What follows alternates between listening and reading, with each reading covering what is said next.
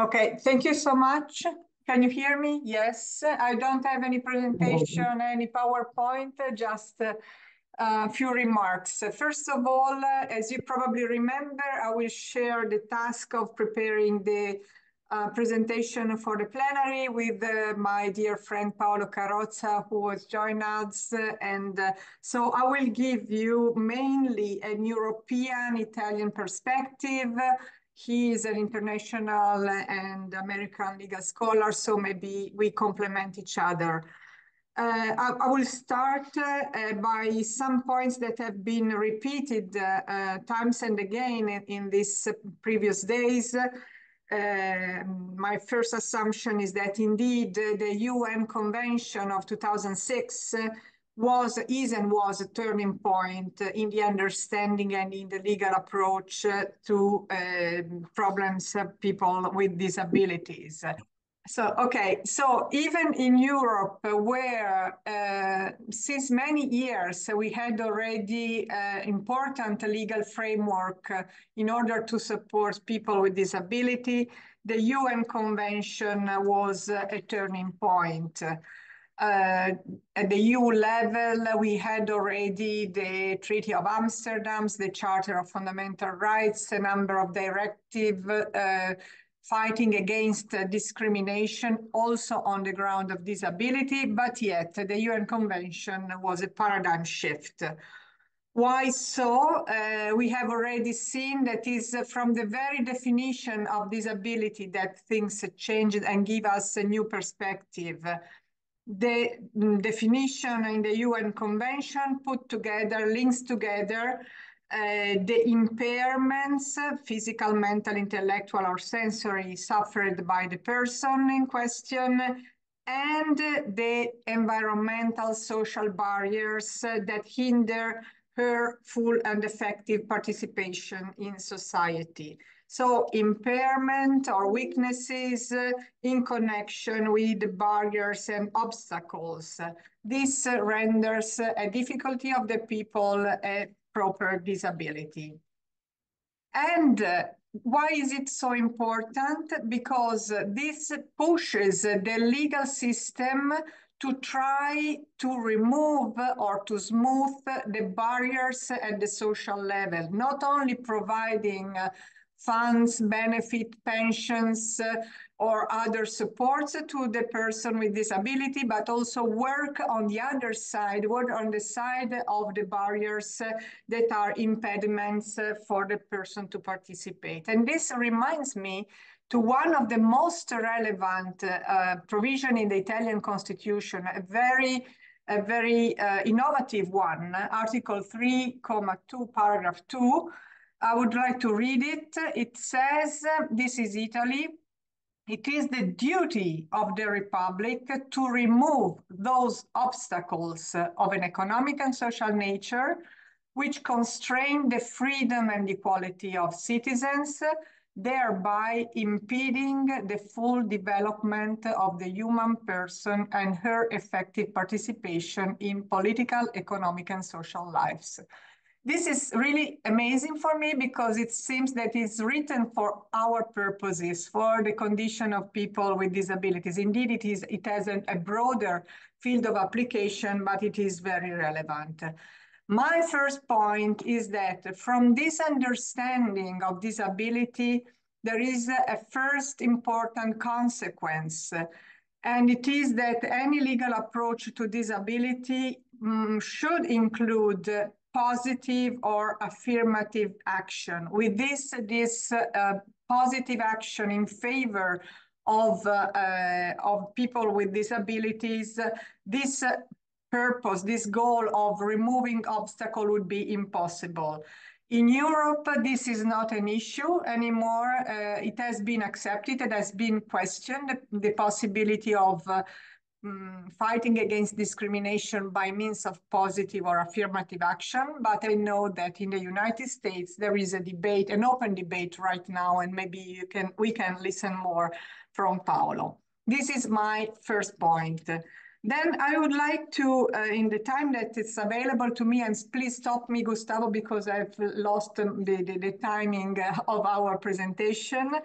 Uh, I would like to point out uh, three instruments that can be that have been experienced uh, in many different uh, countries and can give us some inspiration in order uh, to figure out how an appropriate legal framework to address the issues of disability can be uh, constructed. First is the reasonable accommodation from Canadian experience. Second is an individualized or case-by-case approach. And the third, a question about uh, independence or uh, um, relational autonomy, as Ma Anna Marta has put it uh, this morning, very, very helpful. The first instrument is reasonable accommodation. It is one of the instruments that is mentioned in the UN Convention in Article 2. It is very much uh, used in, at the European level. We have reasonable solution, reasonable accommodation in the EU legislation. And uh, what does it mean? What is a reasonable accommodation? I would like to not to provide a definition, but to point out some feature that distinguish this approach. It's uh, in a way the, the request to a number of subjects to adjust the condition of work, of education, of sport facilities, of the movie theaters, of the swimming pools, whatever, in order to allow each person to full participate in a given context. The first point is that reasonable accommodation is addressed to both public and private actors not only to local or national institutions, public schools, but also to NGOs and private, private employers. It was elaborated in Canada with a specific, in the specific context of labor law. So it was a request made to employers to prepare to set up a reasonable accommodation to allow people with disabilities to work in their companies or in the workplace. And uh, since it is addressed to uh, private and public uh, uh, uh, at the same level, it is based on a duty of solidarity. Um, why reasonable accommodation? Reasonable because uh, indeed there are some limits. The, the employer must be try his best but there is a limit when it becomes an undue hardship or undue burden, then nothing more can be requested to the employers. And in, in some way, reasonable accommodation is not pre-established. It's something that set up a process uh, in which the solution is to be found in a dialogue between the employers, the employees, of the unions or other assistants. So it is relational, it is a process, it's not a rule. And but the refusal to try to get to a reasonable accommodation is treated as a form of discrimination. So there are these elements, a process, a relationship, a flexible solution, a case-by-case approach, but with the limits of undue burdens, both from the economic but also from the safety point of view, uh, renders, in my view, this approach very, very interesting in many different uh, places and cases. And it also it can be a good expression of a number of qualities uh, that have been pointed out in our previous discussion. So reasonable accommodation is a, a concept worth exploring more uh, and in different uh, countries and in different uh, areas of uh, social life. Second, uh, after all what we have heard in this past day, I think that all of us are very much, much more aware that disability calls for case-by-case measures, personalized and individualized. Uh, Christoph Engel said very effectively in one of the uh, summaries of a previous uh, session no single person with disability is similar to the next one, nor are the social condition where she lives. And I think that this is really a wonderful summary of what we have said. So this come a difficult point for legislation because usually uh, law and legislation work and is based on rules and categories. We prepare rules that are to be applied to certain groups of people. But if the borders between different groups, let's say disabled or uh, functional people, is blurred, it becomes difficult to apply rules. So this is an important uh, remark that we have made in the past days because I think that this calls us to think to the legal framework in a different way. We have a need a legal framework that leaves rooms for a case-by-case approach, flexible rules, rules that are susceptible to be applied in different uh, way to different cases. We have some sign of this uh, approach to legal framework for disabilities. For example, in some cases in the European Court of Human Rights, uh, when the court speaks about degradation of state measures, uh, saying, for example, that it is not necessary to take away the right to vote to any disabled person under partial guardianship, it depends on the actual faculties that she still keeps. Or another case where the court says it is not necessary to remove children from their family when parents have mental or psychological impairments unless it is necessary. Under a different perspective, for example, I can remark a difference, uh, um, a change in the legislation that uh, took place in Italy as far as the work, uh, the inclusion of uh, people with disability in work uh, is concerned.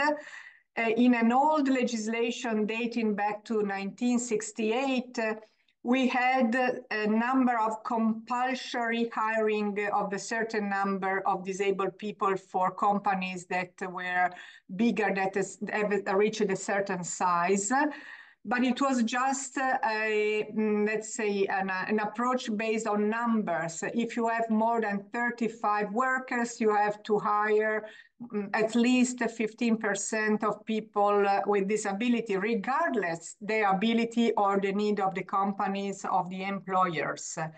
Now we have a new legislation. I don't have uh, any evidence of how it is worked and in, how it is implemented, but the idea is good it says that you have to find an appropriate job for disabled people, taking into consideration her special uh, aspirations as well as her special abilities.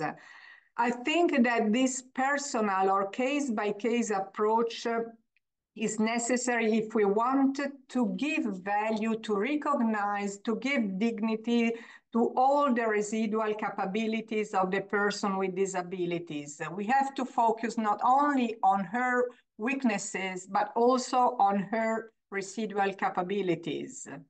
Her talents, we have said that disability is an opportunity, there are talents, but we have to bring them to light and to give value also in the legal system. My final remarks is I have uh, uh, mm, five more minutes, if I, otherwise I will skip it. It concerns uh, independence versus uh, relational autonomy. Because, uh, can I? Yeah, because sure, this sure, is... Marta. Thank you. This was a point that was pointed out by Anna Marta, but also by Rocco Buttiglione in, uh, in, in the, the, remarks this morning. And it is a, a, very central point because the UN Convention in Article 3 speaks about uh, independence, individual autonomy as a goal to be pursued by in, in, in uh, for the people with disabilities. But uh, here, and here I can see the echo of a general approach uh, to human rights, uh, especially uh, starting from the end of the last century. Paolo and myself uh, have been working on these problems uh, let's say, following the steps of people like Mary Ann Glendon, for example. She wrote a wonderful book on this point, showing how the new age of right is all based on the idea of uh, autonomy, self-determination, independence, uh, which is uh, the description of an abstract individual. This liberal approach have been debated on the one hand from some parts of the feminist legal scholars, Anna Marta mentioned some of them, but also by other people, Michael Sandel, Mary Ann Glendon, and other people. What is the problem with this idea? It is, in my view, the flaw is that this uh, um, portrait of the human person that is uh, implied in this approach to human rights uh, is not realistic, is abstract. There is a, a, a, description in a more recent work by Mary Ann Glendon in 2004. She said, let me quote, it is just a couple of sentences. Despite our attachment to the idea of the free, self-determining individual, we humans are dependent social beings. We still begin our lives in the longest period of dependency of any mammals. Almost all of us spend much of our lives either as dependents or caring from dependents for dependents or financially responsible for dependents. And this is something that we have to come to term with.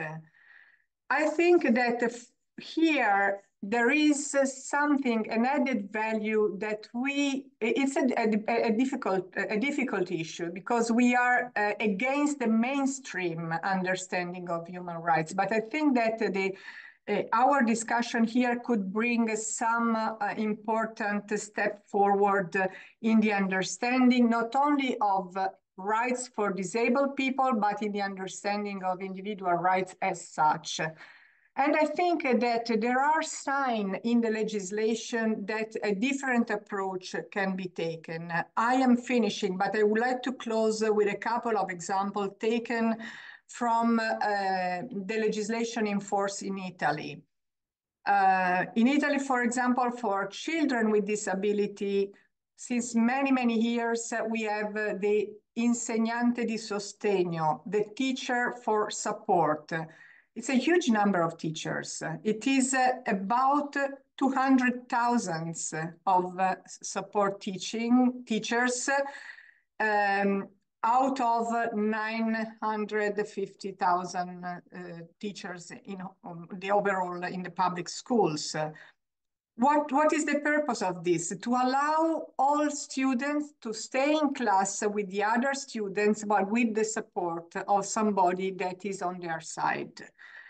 The same has been experienced for the elderly or for other people that uh, temporarily or permanently uh, come through a difficulty in their life with the amministratore di sostegno is somebody, a friend, a family member, or somebody that is chosen by the person that without uh, declaring that the person, uh, uh, the incapacity of the person from the civil point of view, helps her, for example, in some uh, uh, operation uh, negotiation. I had a case when I was in the Constitutional Court. It was a so, an old lady that wanted to donate to one of her children 10,000 euros. But since she was partially incapacitated, she was forbidden by the legislation. With the help of the amministratore di sostegno, this sort of tutor, she was rendered able to do this, to donate as an expression of her